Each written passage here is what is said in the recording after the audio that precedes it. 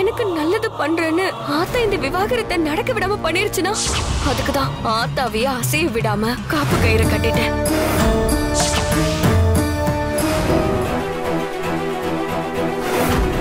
உங்க கையாலேயே மூணு முடிச்சியும் அவுத்து விட்டுருங்க சினியா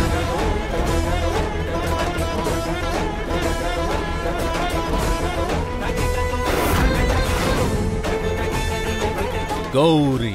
திங்கள் முதல் சனிக்கிழமை வரை இரவு எட்டு மணிக்கு நமது கலைஞர் தொலைக்காட்சியில்.